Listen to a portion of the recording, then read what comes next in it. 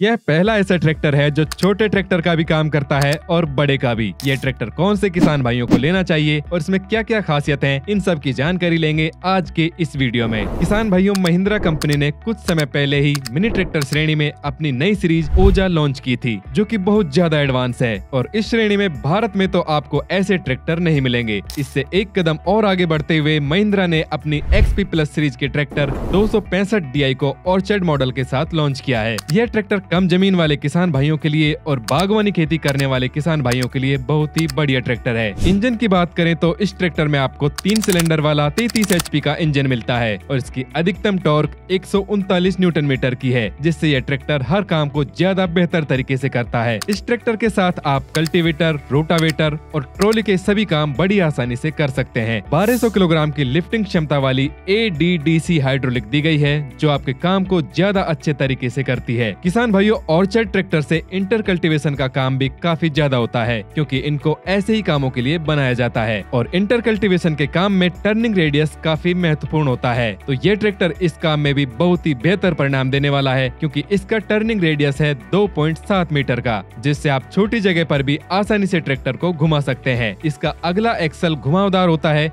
जो कि धनुष के आकार वाला होता है। जिससे यह कम जगह में घूम जाता है। इसके अगले टायरों की आउटर चौड़ाई चौवन इंच की है, जिससे गन्ने की खेती या अंगूर व अनार की खेती में भी यह ट्रैक्टर बहुत ज़्यादा उपयोगी होता है। पिछले टायर ग्यारह दो चौबीस के साइज़ वाले दिए गए हैं, जो कि इसको बढ़िया स्थिरता प्रदान करते हैं। इसका डीजल टैंक उनचास लीटर का होता है, जो कि इसकी श्रेणी के ट्रैक्टरों में देखने को नहीं मिलता। बड़ा डीजल टैंक होने से लंबे समय तक आसानी से काम किया जा सकता है। स्टीयरिंग भी इसमें पावर स्टीयरिंग मिलती है, जिससे आप बिना थके लंबे समय तक काम कर सके। किसान भाइयों, अगर हम बात करें कि यह ट्रैक्टर किन किसान भाइयों को लेना चाहिए तो इसे स्पेशल तो बागवानी खेती के लिए बनाया गया है। इसकी ऊंचाई, चौड़ाई ग्राउंड क्लियरेंस सभी इस काम के हिसाब से ही बनाए गए हैं। साथ ही इसका साइलेंसर भी एडजस्टेबल दिया हुआ है।